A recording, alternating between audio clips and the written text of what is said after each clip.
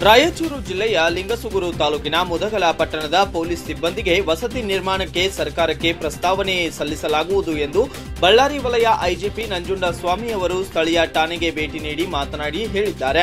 ಇಪ್ಪತ್ತೊಂಬತ್ತು ಕಳ್ಳತನ ಪ್ರಕರಣ ಭೇದಿಸಿದ ಪೊಲೀಸರಿಗೆ ಸೂಕ್ತ ಬಹುಮಾನ ನೀಡಿ ಸನ್ಮಾನ ಮಾಡಲಾಗುವುದು.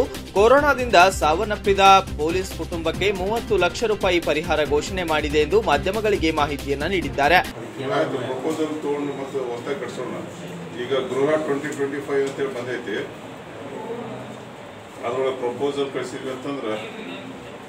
ಆಗ್ತದೆ. ನೋಡ್ರಪ್ಪ ರೆಡಿ ಮಾಡ್ರಿ.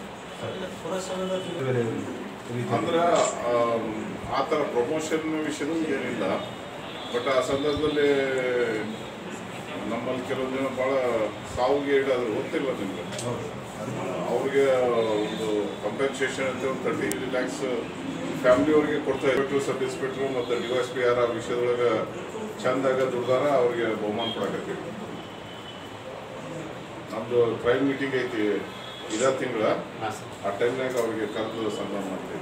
ಸರ್ ಈ ಸಿ ಎಂ ಅವಾರ್ಡ್ ಇದಕ್ಕೆ ಅನ್ನೋದೊಂದು ರೆಕಮೆಂಡ್ ಮಾಡ್ತೀವಿ. ಹಾಂ ಅದು ಚಲೋ ಅದು ಜಾಸ್ತಿ ಯಾರು ಮಾಡ್ಯಾರ ಅಧಿಕಾರಿಗಳಿಗೆ ಸಿಬ್ಬಂದಿಗಳಿಗೆ ಮಾಡ್ಸೋಣಂತ.